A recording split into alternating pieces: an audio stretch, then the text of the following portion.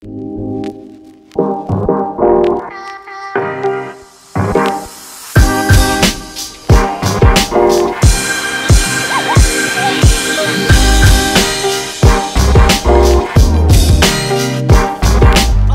Everyone म Ajay Thapa Magar from Paradigm TV अनि स्वागत छ मेरो च्यानलमा। सो आज चाहिँ हामी कम्प्युटरहरूको बारेमा कुरा गर्छौँ है। सिन्स अब भिडियो एडिटर भएपछि आफ्नो मेन टुल्स भनेको नै कम्प्युटर हो होइन? अनि त्यही भएर आफ्नो टुल्स अलिकति थाहा पाउनुपर्छ जस्तो लाग्यो। अरू कुराहरू सिक्नुभन्दा अगाडि सुरुमा आई थिङ्क आफ्नो टुल्स नै राम्रोसँग बुझ्नुपर्ने जरुरी जस्तो लाग्यो होइन? त्यही भएर आज चाहिँ म तपाईँहरूलाई हल्का कम्प्युटरको बारेमा भन्छु है। स्पेसली ल्यापटप र डेस्कटपको बारेमा। मोबाइलमा अनि ट्याब्लेटहरूमा कसरी एड गर्ने भनेर चाहिँ म अरू कुनै दिन छुट्टै भिडियो बनाउँला आज चाहिँ स्पेसली ल्यापटप र डेस्कटपको बारेमा कुरा गरौँ है त। कम्प्युटरमा चाहिँ धेरै डिफ्रेन्ट पार्ट्सहरू हुन्छ जस्तै कि अब हाम्रो बडीमा नि डिफ्रेन्ट पार्ट्स हुन्छ डिफ्रेन्ट पार्ट्स चाहिँ डिफ्रेन्ट काम गरेर हुन्छ सबै पार्ट्सको बारेमा जान्नु जरुरी छैन होइन?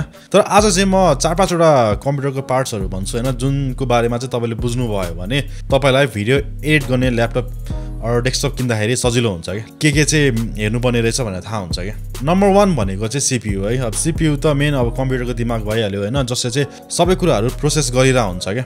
तपाईँको अपरेटिङ सिस्टमदेखि लिएर हुन्छ नि सानो सानो टास्कदेखि लिएर सबै एप्लिकेसन चाहिँ सिपियुले नै धानिरहेको हुन्छ क्या त्यही भएर तपाईँको सिपियु चाहिँ एकदम पावरफुल हुनुपर्छ किनकि त्यसले अलरेडी तपाईँको अपरेटिङ सिस्टमलाई नै प्रोसेस गरेर हुन्छ। त्यसमाथि यो भिडियो एडिटिङ सफ्टवेयरहरू अझ हेभी हुन्छ नि त। अनि त्यसलाई पनि ह्यान्डल गर्नुपर्ने हुँदा चाहिँ तपाईँको सिपियु चाहिँ अलिक कडा नै चाहिन्छ क्या।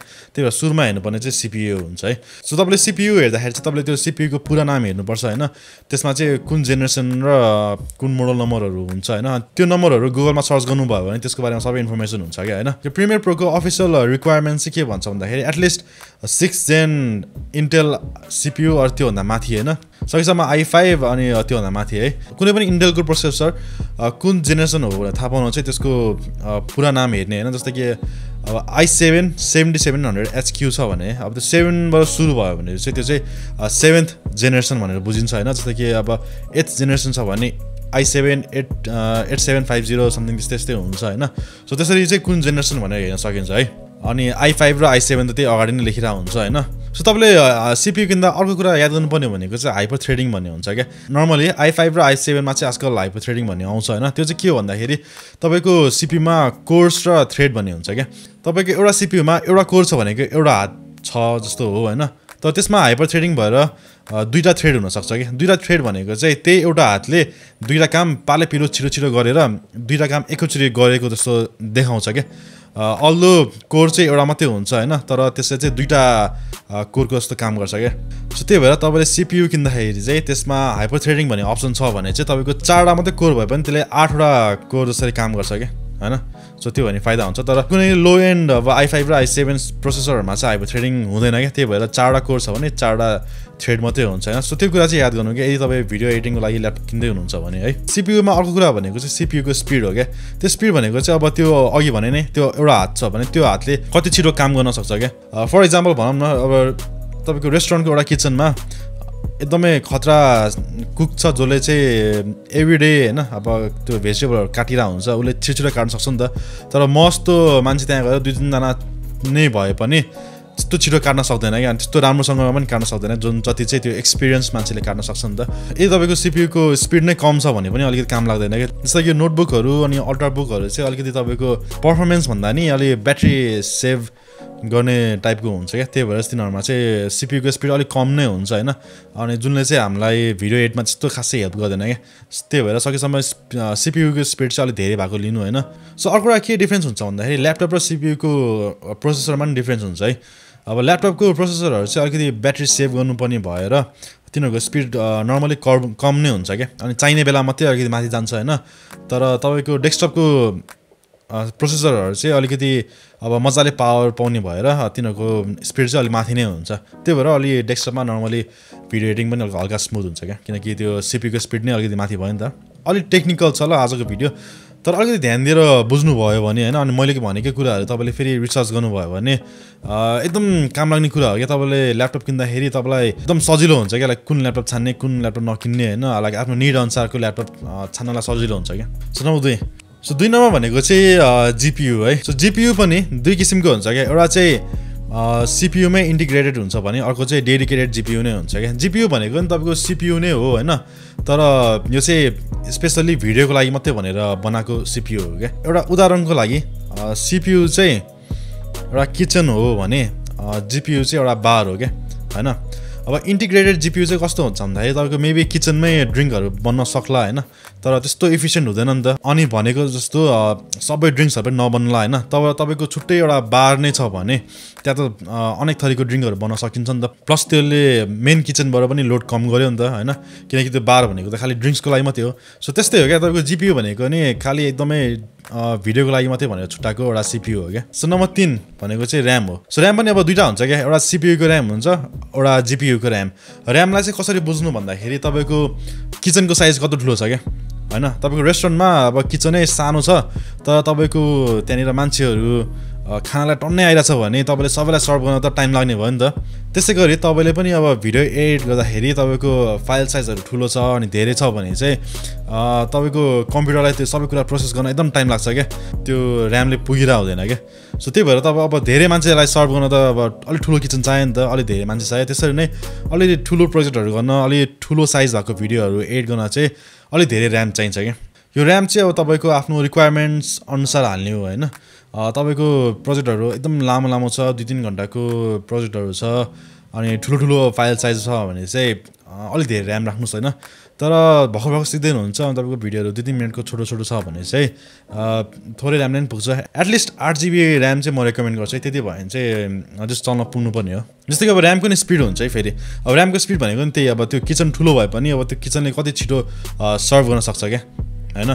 त्यही हो कि। अब तपाईँको ठुलो किचन भए पनि अब तर खाना बनाउने प्रोसेस नै स्लो छ भने चाहिँ फेरि अघि जस्तै हुन्छ तपाईँको एडहरू सबै स्लो हुन्छ होइन?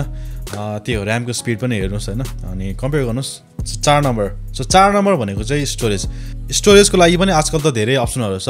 अब हार्ड डिस्कदेखि लिएर अनि SSD pen drive memory card दुनियाँ छ होइन? तर अब अलिकति यो धेरै युज हुने भनेको चाहिँ एउटा हार्ड डिस्क भयो। अनि अर्को चाहिँ एसएसडी। यिनीहरूलाई चाहिँ कसरी कम्पेयर गर्न मिल्छ भन्दाखेरि हार्ड चाहिँ तपाईँको गोदाम भयो भने एसएसडी चाहिँ तपाईँको किचनमा भएको फ्रिजर जस्तो भयो क्या। जुन चाहिँ चाँडै एक्सेस गर्न मिल्छ होइन? अब गोदाम चाहिँ अलिकति टाढा हुन्छ तर त्यहाँ धेरै कुरा राख्न मिल्छ अलिक सस्तो पनि पर्छ। फ्रिज चाहिँ अब तपाईँले ठुलो फ्रिजको लागि अलिकति महँगो पर्छ होइन? तर त्यो नजिकै हुन्छ नि त त्यस्तै हो क्या? अब एसएसडीहरू चाहिँ अलिक फास्ट हुन्छ तर अलिक महँगो पनि हुन्छ होइन? तर हार्डिक्सहरू चाहिँ अलिकति सस्तो हुन्छ त्यही भएर तपाईँले धेरै स्पेसको किन्न मिल्छ क्या होइन? अनि त्यसलाई चाहिँ अब कसरी युज गर्ने भन्दाखेरि तपाईँले अहिले नै काम गरिरहेको प्रोजेक्टहरू चाहिँ एसएसडीमा हाल्ने अनि अलिक फ्युचरमा चाहिने भिडियोजहरू फुटेजहरू छ भने चाहिँ त्यसलाई चाहिँ नर्मल हार्ड डिस्कमा राख्ने क्या। सो त्यसरी युज गर्न सकिन्छ स्टोरेजलाई चाहिँ त्यसरी बुझ्नुहोस् एस एसएसडी र एसडिडी म चाहिँ के भन्छु भन्दाखेरि तपाईँ यदि भिडियो एडिटिङको बारेमा सिरियस हुनुहुन्छ भने चाहिँ एउटा राम्रो एसएसडीमा इन्भेस्ट गर्नुहोस्। तपाईँले रिग्रेट गर्नु हुँदैन क्या मेरो चाहिँ बानी बिग्रिसक्यो है मलाई एसएसडी भएन भने खै कस्तो त्यो क्या स्लो लाग्छ कि? अलिक कुद्ने बाइक चलाएपछि अब अलिक ठिकै ठिकै बाइकहरू कस्तो अलिक स्लो लाग्छ नि त। त्यस्तै हो क्या मलाई पनि। सो पाँच नम्बर। पाँच नम्बर भनेको चाहिँ यो डेस्कटप युजरहरूको लागि हो होइन? अब माथि भनेको सबै कुराहरू दामी दामी तपाईँले पार्ट्सहरू छान्नु होला होइन? तर सबै पार्ट्सहरूलाई त्यो मदरबोर्डले सपोर्ट गर्छ भन्ने छैन क्या? त्यो भएर तपाईँले यस्तो मदरबोर्ड छान्नुपर्छ कि जुनले चाहिँ तपाईँले भनेको सबै कुराहरूलाई सपोर्ट गर्छ क्या होइन? सो मेरो चाहिँ सुरुमा त्यही मिस्टेक भएको थियो क्या। मैले कति पार्ट्सहरू हेरेँ होइन? डिफ्रेन्ट डिफ्रेन्ट तर लास्टमा गएर त्यो मदरबोर्डले नै सपोर्ट नगर्दो रहेछ कति कुराहरू। अनि फ्युचर प्रुफ पनि हुँदैन रहेछ होइन? त्यो भएर मदरबोर्डमा नै राम्रो इन्भेस्ट गर्नुपर्छ। सो यदि तपाईँले डेस्कटप नै बिल्ड गरिरहनु भएको छ भने चाहिँ अलिक राम्रो मदरबोर्डमा इन्भेस्ट गर्नुहोस् ताकि तपाईँले के अपग्रेड गरिहाल्नु पऱ्यो भने पनि त्यसले सपोर्ट गरोस् क्या होइन? सो त्यो सोचेर चाहिँ तपाईँले मदरबोर्ड राख्नुहोस् होइन यो चाहिँ डेस्कटप युजरहरूको लागि हो। सो म एउटा क्विक डेमो देखाइहाल्छु। कसरी चाहिँ ल्यापटप छान्न सकिन्छ होइन आफ्नो बजेट अनुसार। म एउटा नेपाली वेबसाइटमै गरिदिउँछ है त। आइटिटिआई डट कम डट एनपीमा गरिदिउँ है त। सो यहाँ चाहिँ गेमिङ ल्यापटप्सहरू हेरौँ न त। ल एउटा रहेछ। एउटा रहेछ। यो दुइटा कम्पेयर गरिदिउँ है त। कस्तो हुन्छ? यो चाहिँ डेमो मात्रै हो तपाईँले बुझ्नु लाग्यो हो। यही ल्यापटप किन्नु भनेको चाहिँ होइन डेल र एसआईको रहेछ है। सो डेलमा हेरौँ न के के छ। डेलमा अब अघि भने नि मैले यहाँनिर प्रोसेसरको नाम दिएर हुन्छ होइन। यहाँ I five eighty three hundred H two point three giga अब आई फाइभ भनेको आई फाइभ भइहाल्यो। एट्टी थ्री हन्ड्रेड एच भनेको चाहिँ एथ जेनेरेसन भइहाल्यो होइन। यहाँ माथि पनि लेखिरहेछ। अनि टु पोइन्ट थ्री गिगा भनेको चाहिँ त्यो सिपियुको स्पिड भयो क्या। अब सेम कुरा एसरको हेरमा त के छ? एसरमा I seven seventy seven hundred HQ two point three giga hertz अब आई सेभेन भनेको आई सेभेन भइहाल्यो होइन। सेभेन्टी सेभेन हन्ड्रेड भनेपछि सेभेन्थ जेन भयो होइन। अनि टु पोइन्ट थ्री गिगार्स रहेछ स्पिड सो अलमोस्ट सिमिलर रहेछ तर खालि डिफ्रेन्स भनेको चाहिँ डेलमा अलिकति नयाँ प्रोसेसर रहेछ। डेलमा भएको यो आई फाइभ प्रोसेसरमा चाहिँ मैले हेर्दाखेरि हाइपर थ्रेडिङ छ भनेको। तपाईँको चारवटा कोर छ भने आठवटा थ्रेड हुन्छ क्या। सो त्यो त्यस्तो कुराहरू चाहिँ तपाईँ आफैले गुगलमा रिसर्च गर्न मिल्छ है त्यहाँ मजाले देखाउँछ।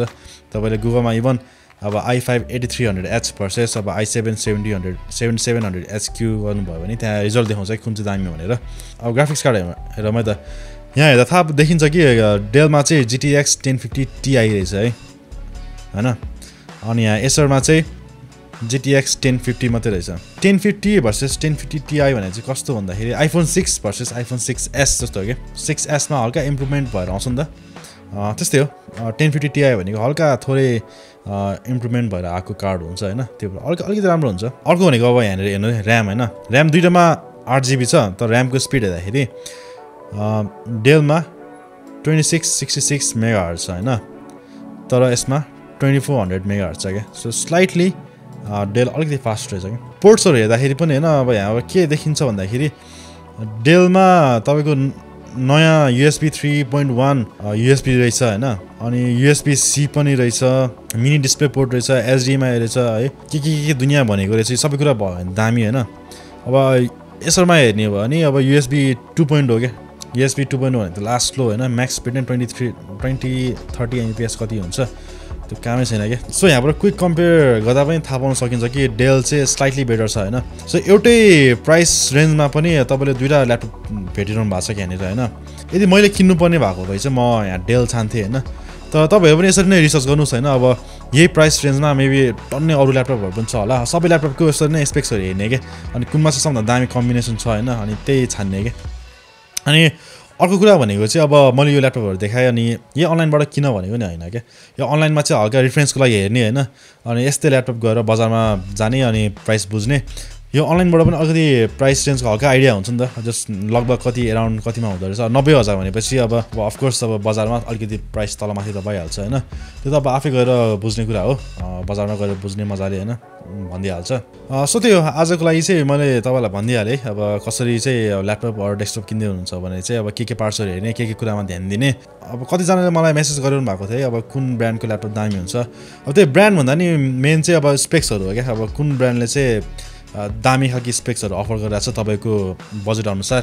अनि त्यही ल्यापटप लिने हो। तपाईँको सर्टेन बजेट छ भने अब यसरी नै रिसर्च गर्ने होइन? तपाईँको बजेटमा कुन कुन ल्यापटपहरू अप्सनहरू एभाइलेबल छ।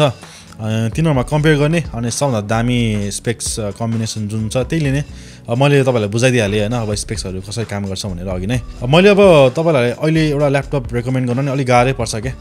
किनकि अब अहिले एउटा ल्यापटप भन्ने अब त्यो मेबी दुई तिन महिनामा अब त्यसको नयाँ भर्जन आउला होइन। अब त्यो अपडेटेड होला अब त्यो अलिक झ्याउ हुन्छ नि त। त्यही भएर त्यसको लागि चाहिँ आफूले अलिकति बजारमा रिसर्च गर्ने क्या। अनि कुनै मोडल आउनु आउँदैछ भन्ने बरु कुर्ने होइन। अब न त कुनै मोडल भर्खर आएको छ भने अनि हेर्ने प्राइस अनुसार मिल्छ मिल्दैन। सो त्यही हो। अल द बेस्ट है।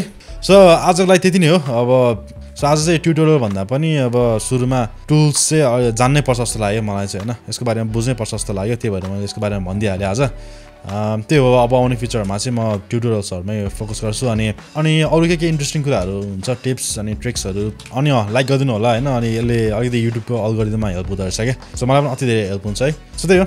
अर्को भिडियोमा भेटौँ ल अनि त्यति बेलासम्म stay safe thank you for watching Peace. Bye bye.